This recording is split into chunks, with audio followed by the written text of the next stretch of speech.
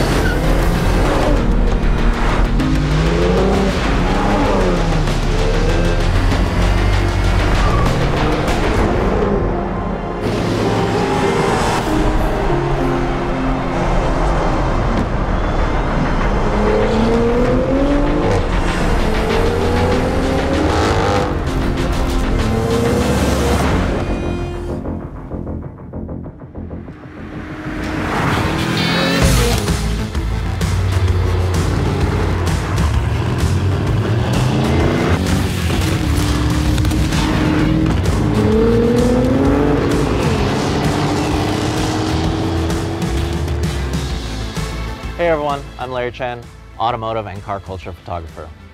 Cadillac invited me out to check out their brand new V-Series Blackwing. Let's take a look. You look at it and you know it's something special because front and center, it's a Cadillac. Wow.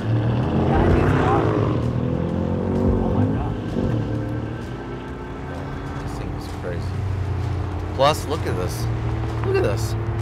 Surrounded in luxury.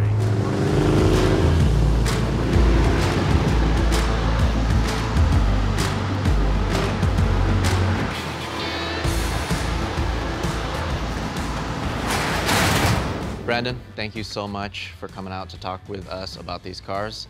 We just had a chance to experience the CT4V Blackwing and the CT5V Blackwing, and uh, they're amazing cars. First, Blackwing represents the pinnacle of Cadillac performance, technology, and craftsmanship.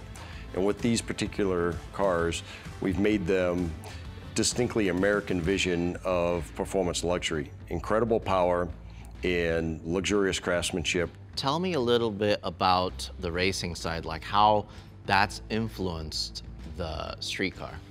But we're equally passionate, you know, about racing and performance, and you know, we demonstrate that over the the course of a long history. Starting in 1949, uh, was when Cadillac started racing with uh, the revolutionary overhead valve V8 engines.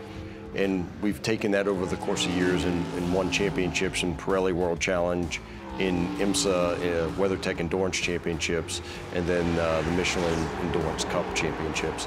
And all of that experience, along with our technical prowess, we've combined into the cars you've driven and seen with the CT4V Blackwing and CT5V Blackwing.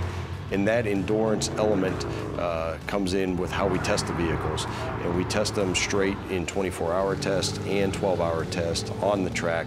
We also do drag strip testing with the vehicles.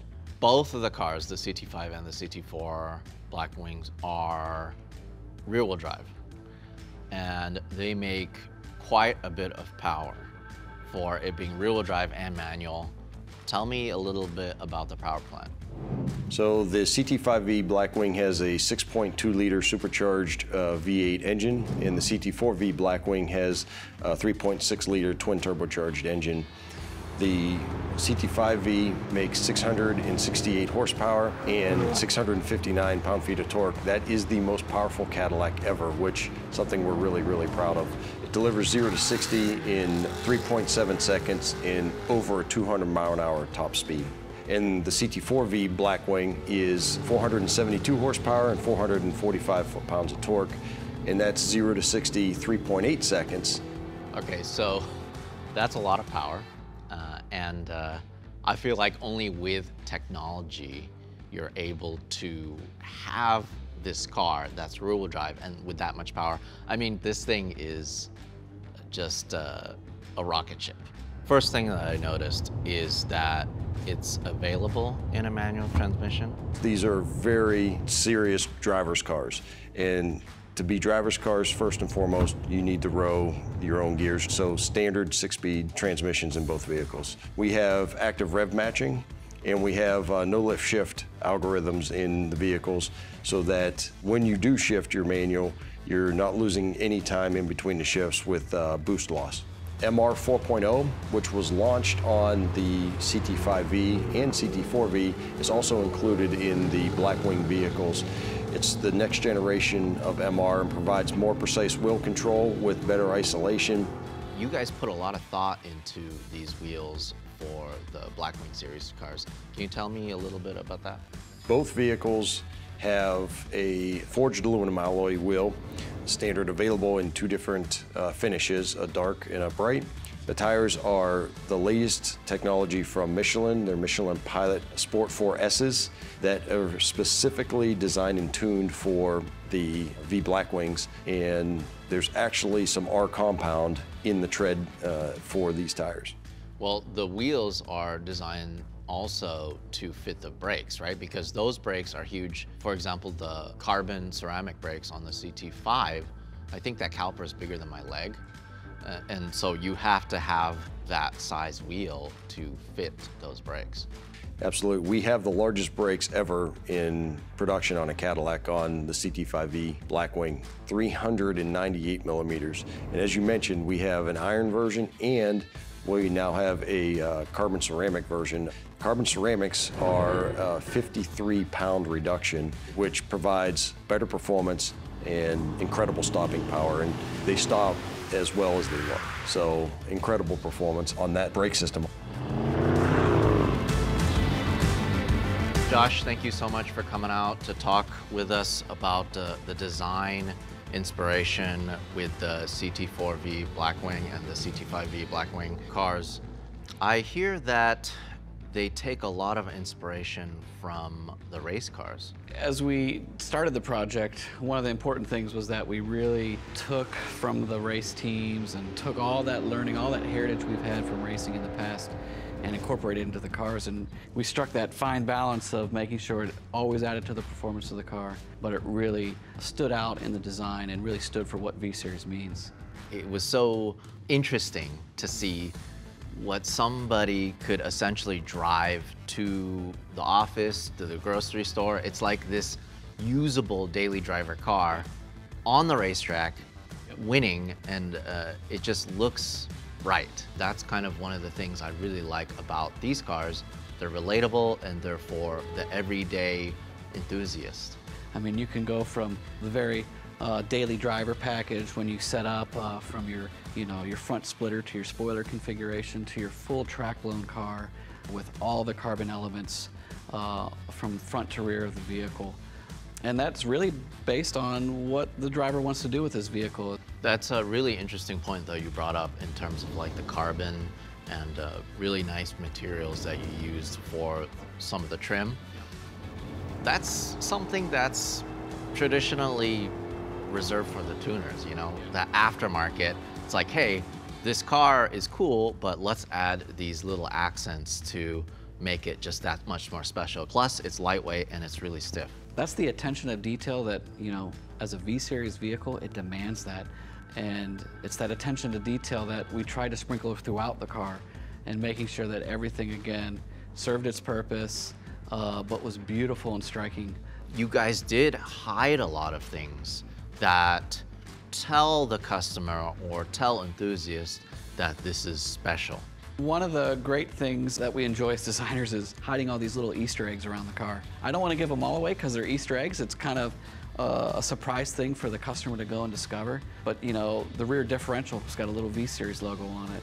You go into the underbody, we have this thing called the Racing Mondrian pattern, and we kind of sprinkled that throughout the underbody, through the mid-body panels and the underwing.